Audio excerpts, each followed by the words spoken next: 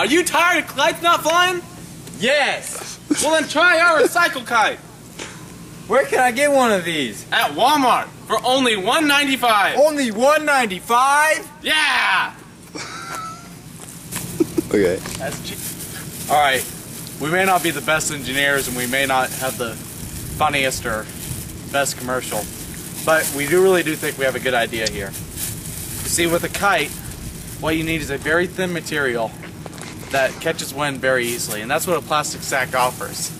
On top of all that, whenever you have something that's made out of a plastic bag, it shows true innovation and real creativity.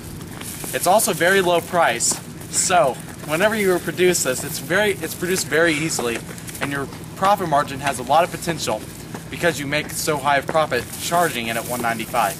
So even though this kite might not fly as well as the others, it'll really it'll really be easy to sell because of how cheap it is, and it's made of recycled material, which will appeal to some of the newer customers.